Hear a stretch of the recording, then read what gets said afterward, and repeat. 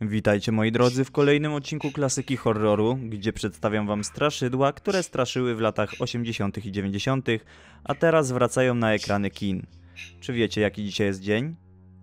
Właśnie tak, piątek 13 to idealna okazja, by przedstawić sobie kolejnego mordercę, który zapisał swoje krwawe imię w popkulturze. Jason Voorhees, znana nam wszystkim postać z serii filmów pod tytułem Piątek 13, powstała w latach 70. i 80. ubiegłego stulecia. Na chwilę obecną mamy 12 filmowych produkcji z Jasonem oraz postać ta pojawia się w serialach, grach czy też komiksach. Jason urodził się w małym miasteczku Crystal Lake 13 czerwca 1946 roku. Młody chłopiec był dotknięty poważną deformacją twarzy, wodogłowiem, nienormalnie dużą głową i niepełnosprawnością umysłową. Matka wychowywała dziecko na własną rękę oraz trzymała syna w izolacji od społeczeństwa, nie pozwalając mu chodzić do szkoły ani spotykać się z rówieśnikami. Latem 1957 roku Pamela, matka Jasona, nie mogła znaleźć opieki dla swojego dziecka, więc zabrała syna na obóz Crystal Lake, gdzie pracowała jako kucharka. Jason siedział ze swoją matką przez większość czasu, zamiast bawić się z innymi dziećmi. Dzieciaki, ze względu na niepełnosprawność Jasona, zaczęły go nękać. Prześladowany przez innych obozowiczów, Jason próbował uciec, ale okrutne dzieci złapały go na molo i wrzuciły Jasona do jeziora, w którym utonął. Opiekunowie mieli pilnować dzieciaki, lecz zamiast tego imprezowali w lesie. Chociaż ciało Jasona nigdy nie zostało znalezione, obóz został zamknięty. Jednak po roku został na nowo otworzony. Pamela oszalała z powodu straty swojego dziecka. W ramach zemsty zamordowała dwóch opiekunów, którzy poprzedniego lata mieli opiekować się obozowiczami. Matki Jasona nikt nigdy nie podejrzewał o morderstwo, a wszystkie kolejne próby otwarcia obozu zakończyły się niepowodzeniem, prawdopodobnie ze względu na sabotaż ze strony matki. W wyniku czego obóz Crystal Lake został nazwany przez mieszkańców obozem krwi oraz został uznany za przeklęty. Jason jednak przeżył wypadek i zamieszkał w prowizorycznym domku w środku lasu, czekając ponad 20 lat, aż jego matka go znajdzie. Pamela nigdy nie dowiedziała się, że jej syn żyje. Po 20 latach syn jednego z założycieli obozu chciał otworzyć na nowo biznes i zatrudnił parę ludzi spoza miasta, aby pomogli mu rozkręcić obóz. Rozwścieczona Pamela zamordowała nowych założycieli i prawie wszystkich pracowników. Ostatecznie przeżyła jedna osoba. Alice, ostatnia ocalała, po krótkiej walce nad brzegiem jeziora zabiła Pamelę maczetą.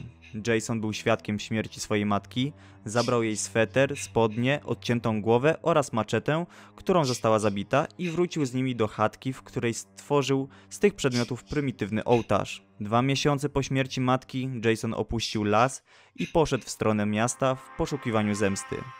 W jakiś sposób wytropił Alice, włamał się do jej mieszkania i zamordował ją, dźgając w głowę soplem z lodu. Zabrał jej ciało i umieścił w świątyni.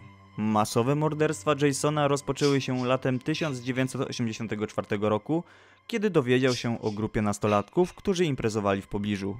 Zmotywowany morderca uważnie obserwował intruzów, by po kolei ich mordować. Podczas tamtej nocy zginęło sześć osób.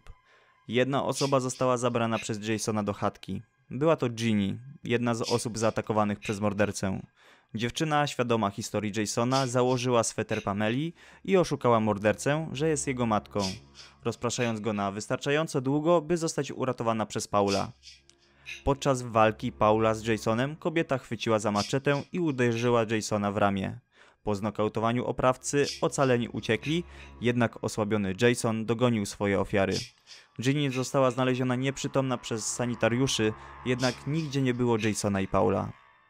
Jason zakłada swoją ikoniczną maskę hokejową dopiero w trzeciej części. Z mordercą tym wiążą się nadprzyrodzone i demoniczne rzeczy, ponieważ po swojej śmierci jako człowiek zostaje przez przypadek wskrzeszony jako zombie. Jason w porównaniu do innych zombie jest pełen świadom swoich czynów oraz posiada wszystkie wspomnienia, Przemiana w nieumarłego Jasonowi dała nowe zdolności. Nasz killer miał teraz nadludzką siłę, jako zombie stał się nieśmiertelny, jego ciało się nie starzeje, jest odporny na choroby oraz fizyczne obrażenia, które zabiłyby normalnego człowieka. Postaci zombiaka, Jason się regeneruje, a jego ciało się nie rozpada, jak w przypadku normalnego nieumarłego. Po pokonaniu antagonisty w Jasonie zostaje uśpiona nadprzyrodzona moc, dlatego Freddy Krueger był w stanie wskrzesić mordercę. Jason przez 9 filmów zabił równo 150 osób, co daje mu pierwsze miejsce na podium wśród wszystkich fikcyjnych killerów. Postać ta zapisała się na stałe w popkulturze i na chwilę obecną możemy ją spotkać w serialach, komiksach i grach. Ostatni film z serii Piątek 13 powstał w 2009 roku, czyli 10 lat temu, więc przeczuwam, że w niedalekiej przyszłości postać ta wróci na kinowe ekrany. To by było już wszystko w tym odcinku. Jeśli interesuje Cię historia Freddy'ego Krugera albo Michaela Myersa, to filmy o tych postaciach są dostępne na moim kanale. Ja życzę Wam niepechowego piątku, trzymajcie się, cześć i do następnego.